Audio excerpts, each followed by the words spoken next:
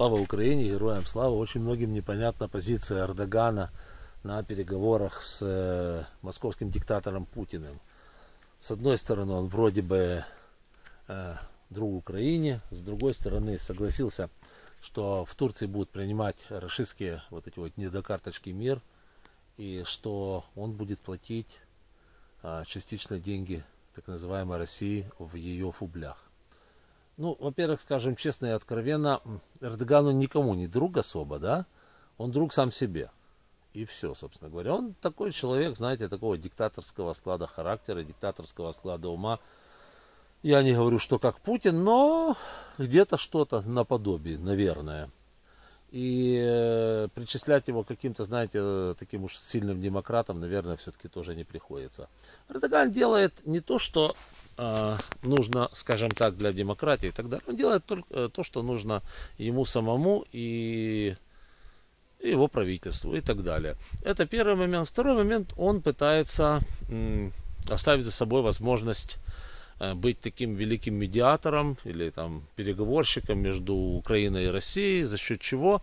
Э, за счет того, что он не занимает такую явную позицию ни за Россию, ни за Украину, хотя Украине они продают оружие, а тут как ни крути, а на Россию оружие они продавать не хотят, несмотря на неоднократные просьбы того же самого Путлера э, продать им какие-то оружия, передать им там Байрактары, давайте построим завод Байрактаров и так далее. Видите, Эрдоган тут взял и просто-напросто отказал. Ну, опять-таки, не надо Эрдогана переоценивать, он делает, еще раз повторюсь, только то, что нужно самому Эрдогану. Поэтому э, просто не надо ожидать от него того, что ему не свойственно. Он будет делать то, что надо ему. А, ну, вот это было очень наивно считать, что, знаете, Эрдоган будет делать все для Украины, все ради Украины. Не будет он этого делать, просто потому что он, он является таким, знаете, типичным примером э, циничных политиков, которые добиваются своего, умеют добиться своего, невзирая на лица и невзирая на обстоятельства. Вот, собственно говоря, и все.